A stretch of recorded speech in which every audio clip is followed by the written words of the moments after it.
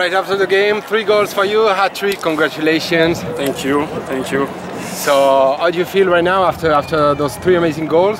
I mean, first of all, I'm happy with the, with the win, with the victory, and after, of course, I'm happy with uh, the three goals. So it's good.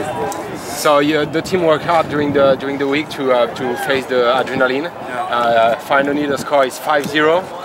Can you tell us a little bit more about uh, your feeling, the team, and uh, where are we going right now? I mean, since the, the beginning, we know that we have a, a good team, and it takes a long time to, to start winning. But I mean, now now we, we can keep going. So we have we have some players coming, just like Bato, who is right here, just to you know enjoy the time. Momo, thank you very much for your time. Thank you. 3-0, congratulations again. Thank you very much, and thanks to the fans. See you next time.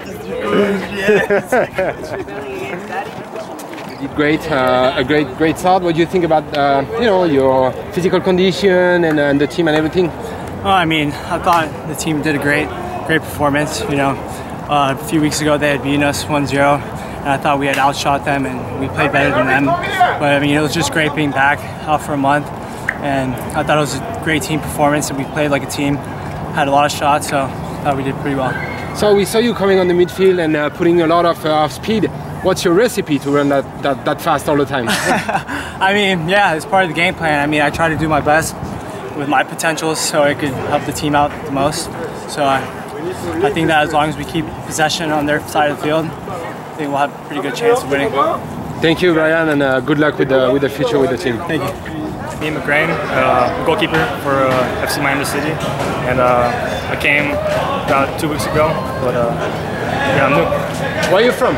I'm from Pennsylvania, and uh, came here for, to Miami to play uh, football. College? Oh, University of Wisconsin in Green Bay. Okay, cool. So it was the first start for you uh, with the team. Uh, how you feel? I was nervous, but uh, after uh, a couple minutes in, I was comfortable, and uh, the score uh, is comfortable too. So 5-0 in the end, clean sheet for you, no goals, nothing. It's the perfect start, no? Perfect start. Yellow card was a little shaky, but uh, it was a good, good start. Good start. Are you injured after the game or um, everything you want to say to your fans, your friends, your family? Friends, family, uh, thank you for supporting me, and uh, my coaches to help me, uh, helping me out along the way. It's a big help. It's a big help.